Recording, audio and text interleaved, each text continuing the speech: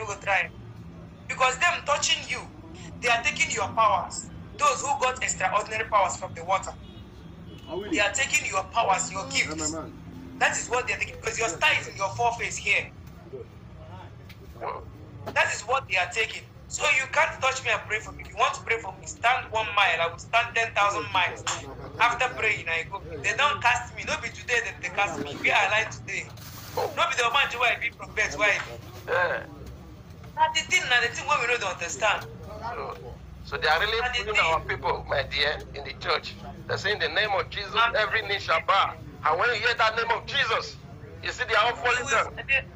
somebody said if he comes to my chamber that he will shout jesus and everything will spoil and they dey for inside his chamber they cast jesus those who dey do am for them dey say which jesus is powerless because it never existed Okay. this thing the thing only happens in the movie you shout jesus everything will be funny my dear na only for movie na movie come chamber now i tell them my chamber on come come just shout jesus let me see if anything will happen Only for Come. Nigeria movie.